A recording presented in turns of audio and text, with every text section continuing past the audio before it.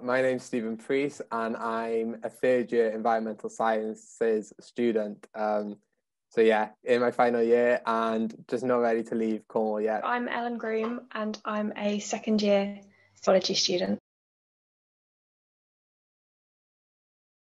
I am a hip hop dancer and I choreograph for the Hip Hop Dance Society at our university. I uh, founded last year in my first year the Student Union Swing Dance Society. I want to make a big change and I want to be the voice that students can like come to and talk to whenever they need anything. Even as a student ambassador, when I go out to colleges and schools and teach them a little thing about university and student finance and so forth, I feel even through those sort of jobs, I'm contributing back to the university just to, as a way of thank you. I think there's a lot of stuff I think needs to change. And I think if there was ever a time to change things, I think it will be the year as we start to move out of COVID. I think that's when people are talking about moving kind of back to normal. I think we need to make sure that improves, particularly um, in terms of mental health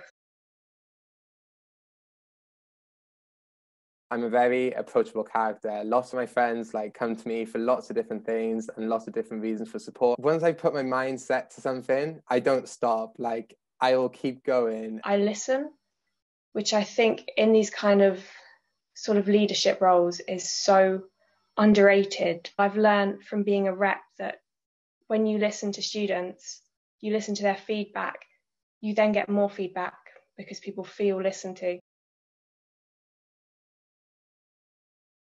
One of my biggest points is to defend your academic progress for as long as the COVID 19 pandemic continues. And I think last year, the no detriment policy was a great addition to make us feel secure in um, our academic situation then. If we can't expect lecturers to, you know, mock us easily or so forth, or give us that protection, then under the same token, they can't expect us to work to that same ability as a- any other normal circumstances. I think protecting students' academic progress is definitely important. But I think right now the key thing is students' mental health. We've got a well-being app. We get emails every week from the uni saying, "Here's all the kind of mental health resources."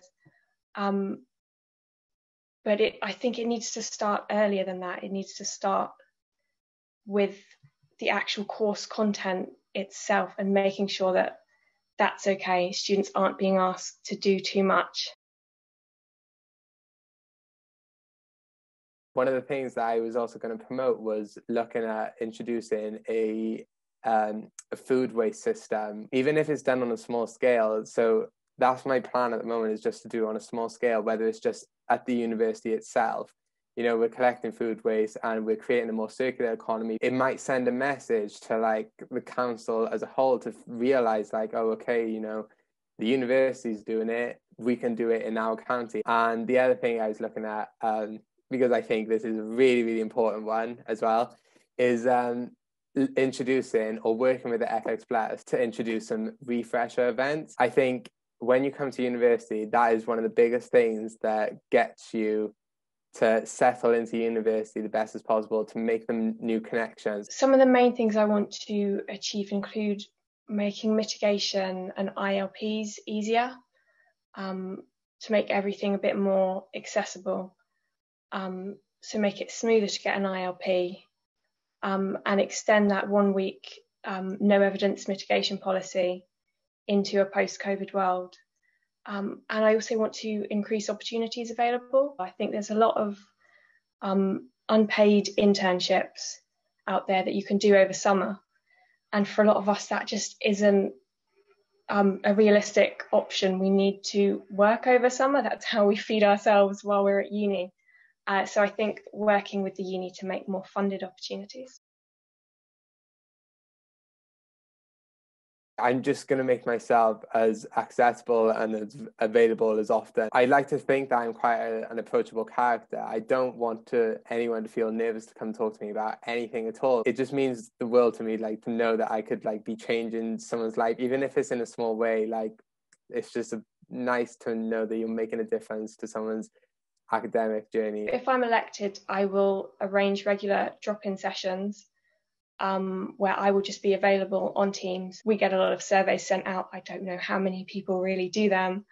Um, so I think that one to one interaction and things that maybe I think not everything gets passed through the rep system quite as smoothly as it could.